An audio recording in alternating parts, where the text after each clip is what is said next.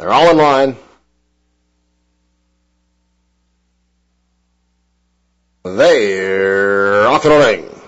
A little bit of a slow start for Defender's. Word, who's last early. Sharpest cat to the front. Transpose on the inside. Now pokes ahead in front. General Jakes on the outside and up close third. Lowthers Hill. Two off the pace racing fourth. Just Bud fifth. Great Composer came away in sixth. Emblem Maker splitting horses. Four and a half off and racing in the seventh spot. Double squeeze. Just Bud next by two to Defender's. Word and four. Back to allegedly true who's 13 lengths off the lead at the back of the pack. The opening quarter 22 and one around the far turn. It's sharpest cat and bug boy Dylan Williams with a head in front. Transpose on the inside, racing in the second spot. Emblem Maker is charging on the extreme outside from third now as they wind around the turn. General Jake is splitting horses. A couple back to Lowthers Hill now. Here comes Great Composer starting to kick it in five wide. Just Bud comes on from the back. Double squeeze up behind a wall of horses. Will need a seam to slip through as they straighten away in a stretch drive. It's wide open here. Transpose and Julien Leparoux length. Great composer charging high. Lowthers Hill kicks it in in between horses. Here comes Defender's Word on the far side and Just Bud down to the final 60. Lowthers Hill